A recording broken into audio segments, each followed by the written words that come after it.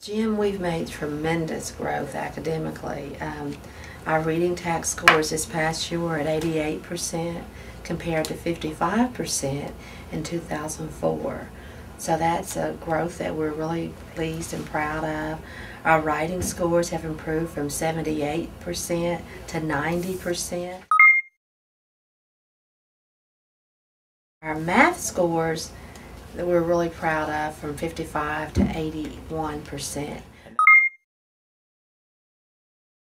We're looking at about 50 to 60 who would be at the greatest need.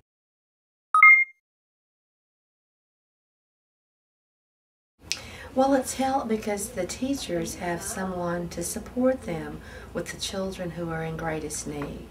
Sometimes the individual one-on-one time that the tutors are able to spend helps a child to grasp a concept that they haven't in the past. When a teacher has a classroom full or 18 students or 20, it's difficult to give one student the individual attention that's needed. So the volunteers have been a great deal of help in that way. The district has purchased some new software, Destination Math, and we'd like to have a technology club meeting in the computer lab, possibly on Mondays and Wednesdays.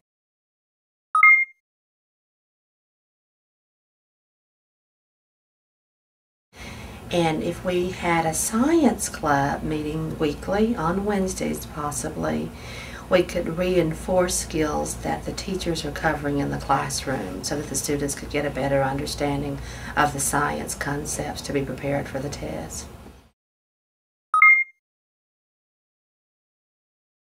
There are just great concerns that burden children that should not be issues that children are concerned about and that they're safe and that they're taken care of